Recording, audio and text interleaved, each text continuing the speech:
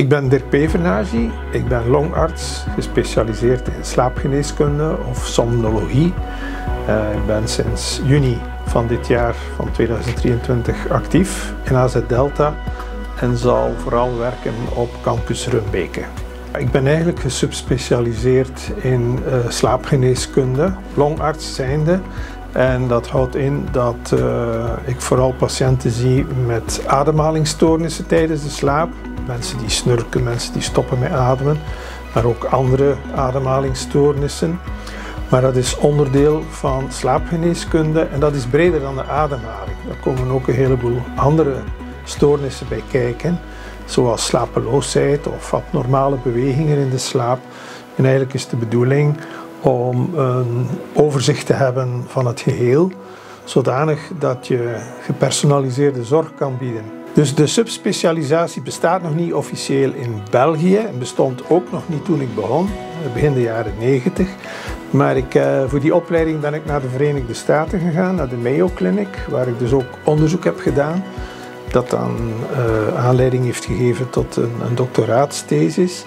En dan heb ik verder ja, allerlei opleidingen gevolgd, maar ook heel actief geweest bij het organiseren van opleiding, bij het doen van onderzoek en zou ik zeggen een beetje bij het verleggen van de grenzen van het domein.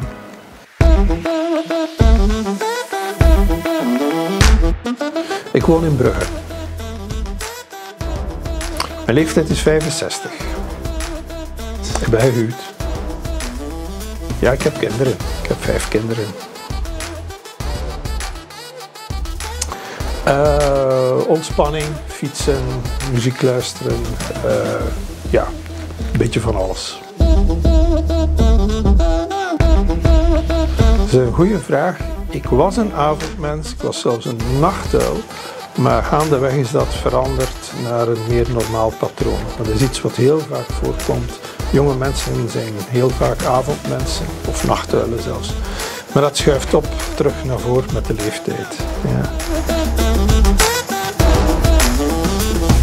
Mijn hobby vroeger was modelbouw en toen ik aan mijn professionele carrière begon, uh, was ik bezig met een bootje in elkaar te knutselen en dat is eigenlijk nooit afgeraakt. Dus uh, het afwerken van dat bootje is eigenlijk wel nog een doelstelling uh, van mij.